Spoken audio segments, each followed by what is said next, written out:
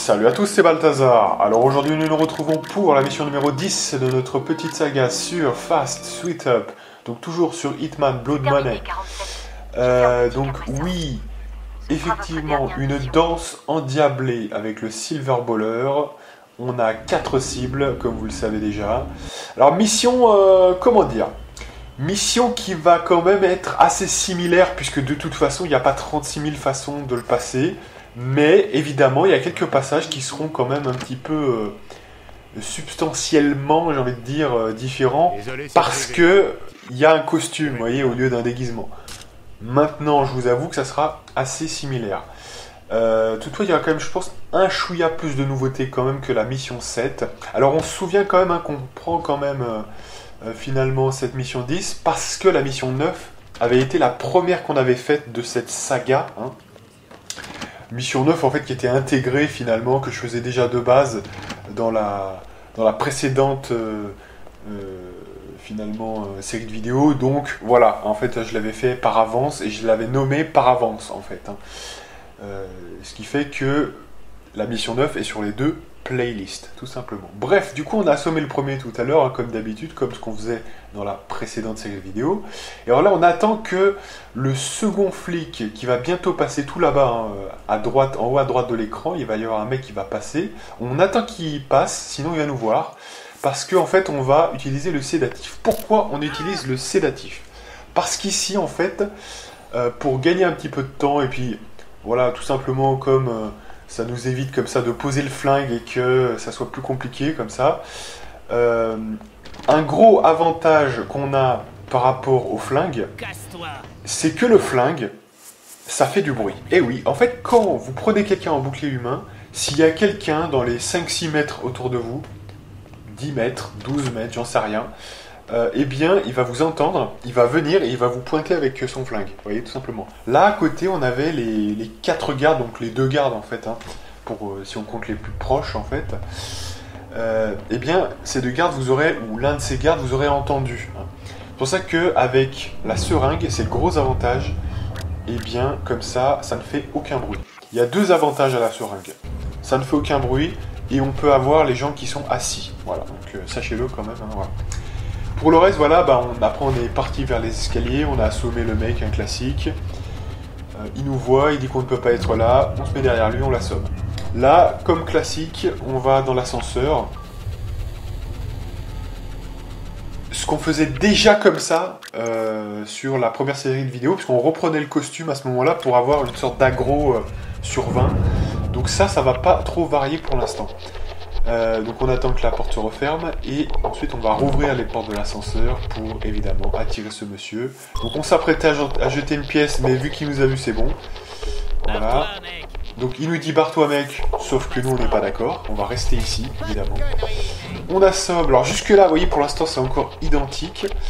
Euh, là où ça va varier un petit peu c'est que évidemment on va pas prendre le costume, hein. enfin on va pas prendre le déguisement, soyons précis sur les termes quand même parce que le costume c'est le costume de 47. Donc on ne va pas prendre son déguisement, ce qui veut dire qu'on pose l'arme. Et alors, bon, ça va être globalement très très très très très très très très similaire.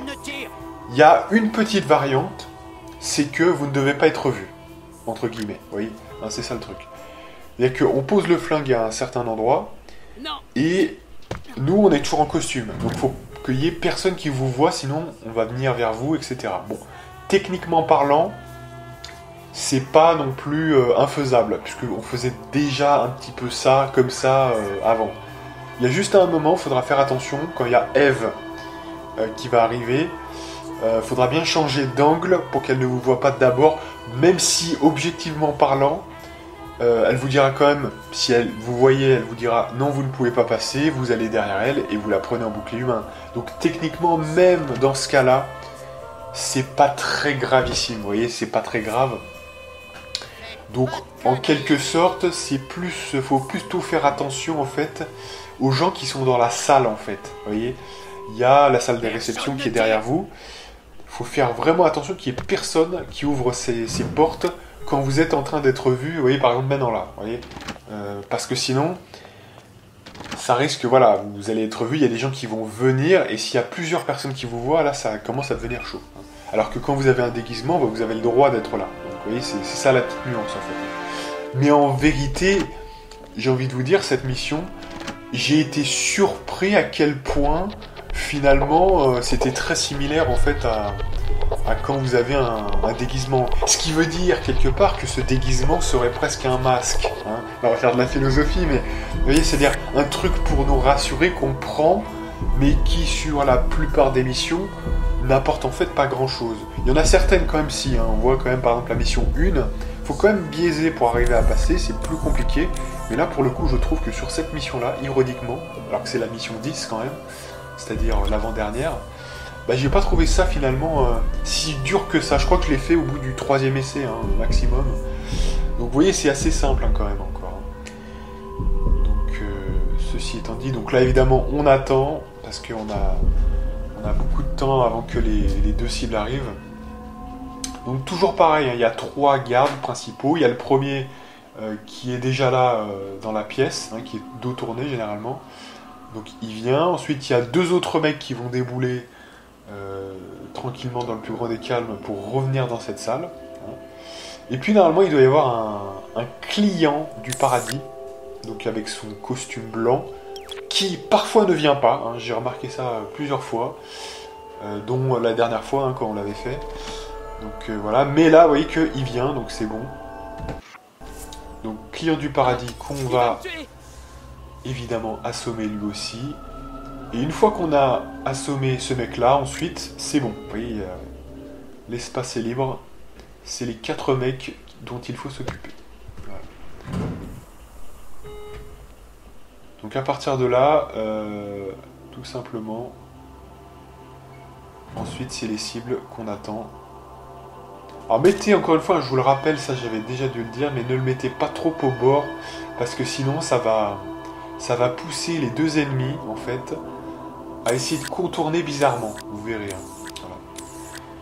Donc euh, laissez quand même un petit espace, voyez, pour que leur corps puisse aller vers l'endroit. Vous voyez ce que je veux dire, hein, qu'ils ne soient pas gênés et qu'ils puissent se baisser pour ramasser. Parce que si c'est vraiment trop contre, ça va, ça bugger. Voilà, donc là évidemment on attend les deux cibles. La première qui va arriver c'est évidemment euh, la fameuse Eve, hein, je crois bien. Celle qui est là, qu'on regarde sur la map. Donc nous on s'est mis, euh, encore une fois, on s'est mis dans une posture où elle ne pourra pas nous voir. Hein. C'est-à-dire sur le côté par rapport quand vous déboulez de l'ascenseur, c'est à droite de la porte. Vous voyez ce que je veux dire, hein, c'est ça. Comme ça, elle quand elle va arriver, ce qu'elle arrive euh, via euh, finalement par rapport encore une fois à l'ascenseur à la porte de, droite, vous voyez.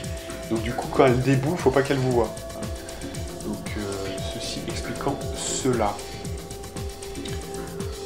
ça c'est la petite différence comme on est en costume seulement, vous voyez, c'est un petit peu ça. Mais encore une fois, hein, je vous le rappelle, mais franchement, même si vous êtes vu de toute façon, je pense que il y a moyen de gérer quand même si euh, vous n'êtes pas armé, quoi, vous voyez. Hein, euh, c'est pas un problème en soi,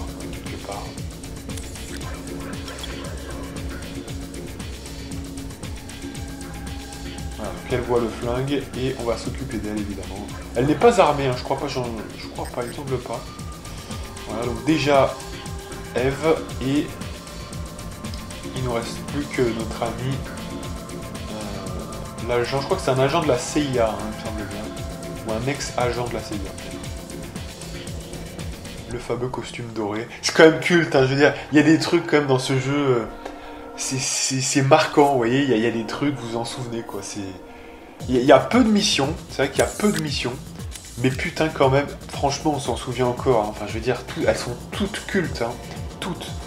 Vous prenez la première mission, elle, a une ambiance de folie, euh, la clinique c'est une ambiance de folie, enfin oui, il n'y a que des missions quand même euh, hyper inspirées, moi je trouve, hein, perso. Euh. on parle même pas de l'hôtel voilà, à Las Vegas, tout, est culte de toute façon pénétrer la Maison Blanche. Vous voyez, enfin, c'est un truc, euh, voilà. C'est que des trucs où on se dit, euh, ouais, c'est quand même, euh, c'est la classe, quoi, hein, franchement. Puis c'est toujours ce petit plaisir coupable de pénétrer les lieux, de voilà, d'essayer de, transpercer les lignes ennemies, vous voyez. c'est quand même, franchement, moi j'adore Hitman. Hein. Franchement, c'est vraiment, je trouve que c'est une idée géniale. Alors il y a d'autres jeux d'infiltration, mais j'ai pas, j'ai pas ce petit plaisir que j'ai avec Hitman, avec les déguisements, avec euh, cette idée que euh, faut, faut, pénétrer une place forte, vous voyez, donc il y a plusieurs manières d'y accéder.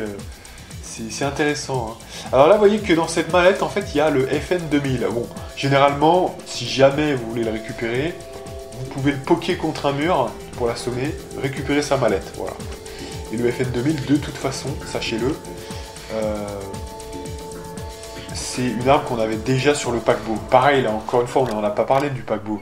Mais pareil, c'est cultissime, hein, les 14 et tout. Pour moi, c'est vraiment du génie. Franchement, Hitman Blood Money, encore à l'heure actuelle. Franchement, le Hitman 2016 est vraiment très bien. Un jour, il faudra qu'on se le fasse parce que je trouve vraiment que c'est, je le mets en, deuxième ou à égalité avec Hitman Blood Money. Les deux sont très forts quand même. Euh, les deux sont, ouais ouais, c'est très très bien fait. Puis ils ont corrigé quelques petites choses qui moi me gênaient sur Blood Money, les rares choses qui me gênaient. Et, franchement, le Hitman 2016, c'est pour ça que j'ai hâte de voir la saison 2 notamment du, Hitman 2016 parce que franchement j'ai surkiffé, hein, vraiment je vous le dis. Donc je pense qu'un jour ou l'autre faudra qu'on se le fasse. Mais euh, ouais, c'est quand même. Je vous dis, hein, j'ai déjà. Alors je vous dis ce jeu là, euh, contrairement à Hitman Blood Money, c'est ce qui m'a donné envie de faire Hitman Blood Money, c'est-à-dire que j'ai d'abord fait Hitman 2016 et ça m'a donné envie de refaire Blood Money. Et ce Hitman 2016 je l'ai fait Sweet Only et Accident seulement. Je vous le dis, j'annonce déjà la couleur, je l'ai déjà fait, euh, j'ai déjà fait toutes les missions, hein, même les missions bonus, etc. Moi je me suis pris, si vous voulez, le, le, le, pack, vous savez, euh, euh, Game of the Years, hein, je crois bien que c'est ça. Donc j'avais les missions bonus et tout avec, j'avais tout quoi en fait. Hein. Donc c'était vraiment kiffant. Et voilà. Voilà, donc là, bah, classique maintenant. Alors là, ce qui varie un petit peu, c'est qu'on n'a pas de déguisement, du coup, le déguisement du paradis. Euh, donc faites attention quand vous déboulez un peu avant de bien pas vous faire repérer par une caméra, sinon il y a un flic qui va venir. Donc attendez bien que la caméra soit bien dans l'angle mort, euh, oui, euh, sur la droite toute. Hein. Comme ça, vous passez sur la gauche en se glissant sur le mur et c'est bon. D'ailleurs, chose qu'on n'avait pas précisé aussi sur la clinique. Hein, j'en avais pas parlé d'ailleurs, je m'étais surpris quand j'avais revu au montage effectivement, dans la clinique, c'est exactement pareil. C'est-à-dire que vous arrivez vers la vidéo, vous attendez que la caméra soit à gauche toute pour ensuite aller crocheter, vous voyez Pour pas être vu, tout simplement. Ça, j'en avais pas parlé, bon, c'était un petit peu euh, mineur, hein, mais voilà. Donc là, pareil, on fait comme on avait fait dans la, dans la saga normale, remake euh, finalement 2018. Tout simplement, là, c'est même plus simple, parce que là, du coup, bah, vous utilisez la technique du euh, je n'ai pas le droit d'être ici. Désolé, c'est privé. Voilà, désolé, c'est privé. Et derrière chaque garde, du coup, c'est la même rengaine. C'est assez facile. Maintenant, j'ai le coup de main, évidemment. Donc, il y a 2-3 euh, gardes, je crois, dont il faut s'occuper. Et c'est bon. Donc, évidemment. Donc là, j'ai dû optimiser un petit peu, c'est-à-dire que je vais d'abord tuer Ménard et ensuite je vais tuer euh, indirectement euh, la fameuse Vahana Ketlin. Hein. Comme ça on gagne un petit peu de temps je crois bien sur cette mission. Évidemment on ne rappelle pas une fois de plus qu'on ne récupère pas les armes. Hein. Donc, de toute façon là il n'y avait que y avait que le, MP5. Hein. D'ailleurs, le MP5 qu'on a pris dans la mission numéro 2, en fait, sur ce, sur ce Sweet Only, sur le costume uniquement. Tout simplement parce qu'on assomme le, fameux mec, vous savez, qui est dans le couloir là, qui est assis. Et lui, il a un MP5, je crois bien. Vous voyez, donc comme quoi, c'est même pas. Là, on le prenait sur Ménard, très très euh, loin sur la sur les bails, mais euh, sur la mission 9. Mais finalement, en fait, c'est très tôt dans le jeu qu'on pourrait l'avoir. Quoi, donc, donc, voilà, on enclenche ça. Et puis on va pas perdre de temps, hein, on va pas attendre 10 ans. On est quand même en fast euh, sweet up. Donc on va continuer là, on va essayer de faire Ménard. Donc là, on a, voilà, on a le client. Alors attention, le client, on rappelle bien, c'est comme les ouvriers, c'est comme tous ceux, en fait, c'est tous ceux qui ne sont pas des, euh, des gardes. Voilà. En fait, il y a deux catégories dans ce jeu, les gardes et les autres. Les autres, donc c'est les invités, c'est les, ouvriers, etc. Généralement qui ne sont pas armés. Et ces mecs-là, euh, attention, on rappelle bien, ils sont un petit peu différents. Si vous dégainez juste à la première interaction, vous êtes grillé, ce qui va se retourner direct, etc. Il faut attendre un petit peu qu'il se calme, et là, vous sortez, etc. Parce que sinon, euh, c'est ouais, un petit peu spécial. Donc, mais ça, une fois qu'on le sait, c'est bon, quoi. Hein, c'est facile après. Voilà. Hop là, alors dès que j'ai une occasion, je vais le faire. Là, j'ai une belle occasion. Voilà, là, il m'a vu, c'est parfait. Donc là, à ce moment-là, je me dis, ça va être génial parce que du coup, je vais vraiment optimiser mon temps puisque je vais tuer euh, quand même euh, John Ménard assez vite. Et Vanna Ketlin sera la dernière. Donc comme quoi, ça sera pas mal. Voilà, bien faire attention quand même. Voilà, de bien. Voilà. Et on le passe par-dessus sans même ramasser l'arme, hein, c'est bon. Voilà, il a fait un petit bond de cabri. C'est vraiment bizarre ça. Là. Ah ouais, mais la physique dans le jeu, c'est très bizarre. D'ailleurs, déjà, rien que les, cadavres, vous voyez, un cadavre, c'est assez lourd quand même. Hein. Euh, vous avez l'impression que c'est des trucs en. Les, très légers, vous voyez, c'est vraiment très bizarre ce truc. Donc euh, voilà, attention parce qu'il y a la caméra en dessous, faudrait pas se faire voir, mais finalement je me fais quand même voir, voilà. Ce qui va d'ailleurs m'arranger en fait, puisque ensuite on va quand même récupérer les preuves vidéo. Donc ce qui fait qu'il y a un mec qui va courir vers nous, juste ici, voilà. Et ce qui va nous permettre, je crois. Euh, et là, j'étais en totale improvisation parce que j'avais jamais été aussi loin. Et voilà, j'ai regardé, voilà, j'ai vu qu'il y avait personne dans la cabine, je crois bien, on va voir, voilà. Donc du coup, moi je l'ai prise. Fuck yeah. Et du coup, ça m'a été profitable. Non mais sans déconner, hein, d'avoir été vu par la caméra m'a été profitable, tout simplement.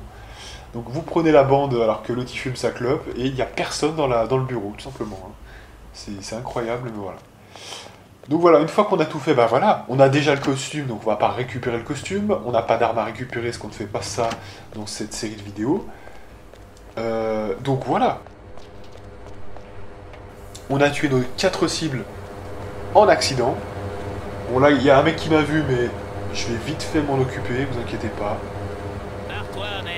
C'est pas ça qui va m'impressionner très longtemps bien le mettre quand dans l'angle au cas où, parce qu'il y a quand même un, mec qui est en train de vomir hein, là-bas, mais ça devrait pas être trop problématique. Et euh, maintenant, bah voilà, on a terminé. Hein. On a tué nos quatre cibles en accident. Pas d'armes, on a déjà le costume, donc bah go, hein, voilà. Il n'y a plus que à attendre la mort de Vahana Keklin et on pourra déjà partir. On est déjà sur place, vous voyez. Comme quoi, ce qui veut vraiment dire que c'est optimisé. Comme ça, on est, on est plutôt bien. On est plutôt très très bien.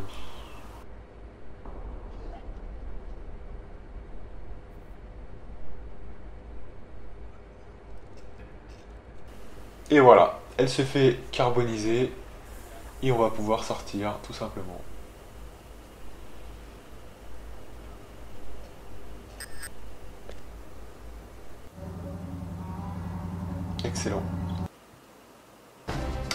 Et voilà nos quatre accidents, tout simplement. Donc tout ça en 17 minutes. Donc ça reste comme une mission qui est assez longue de base hein, quand même. Euh, en maître assassin, voilà. Le Vegas Tribune Saturday. Maître assassin à vidéo recherche. C'est vrai que globalement quand même, comme ça, à la, à la bien cousin, c'est pas très différent quand même de. Il y a quand même des petites variantes, vous voyez, vous sentez des petites variantes de temps en temps, hein. contrairement par exemple à la mission 7 où là on faisait déjà ça avec le costume, voilà. Là on sent quand même des variantes, mais globalement hein, sur les, façons de faire c'est quasiment totalement identique, hein, donc voilà. Mais à noter quand même qu'on a un petit peu mieux optimisé, il euh, faut quand même le, notifier, c'est quand même important. On a, dû faire un meilleur temps je pense. Euh, enfin voilà. Et donc moi je vous donne rendez-vous pour la prochaine vidéo qui à mon avis euh, est une des plus dures, j'ai déjà terminé, hein, c'est pour ça que je vous le dis quand même, qui est, euh, une des plus dures vraiment euh, que j'ai faites. La mission 0 et la mission 11, donc c'est-à-dire la première et la dernière en fait, hein. la mort d'un artiste et 25e amendement, c'est les missions les plus dures du jeu sans aucun problème en finalement le Sweet Handley, donc c'est-à-dire costume uniquement. vous verrez ça la prochaine fois. Et vous verrez que il y a peut-être eu des, petites choses un peu spéciales parce que pour certaines raisons. Hein, je n'en dis pas plus. Voilà, c'est la, dernière mission. Alors sachez quand même que après il y en aura encore une autre hein, parce qu'il y aura la mort d'un artiste que j'avais prévu de faire en dernier. Et des deux, je sais pas quelle est la plus compliquée, franchement. Je mettrais quand même euh, la mission 0 euh, devant. Euh, peut-être quand même parce que ça demande, il y a des, exécutions bien spécifiques et il y a des taux de fail très élevés sur chaque phase. Mais la mission 11 est aussi, vous verrez, très très balèze. Bref, on verra ça la prochaine fois. Et moi, je vous dis à plus.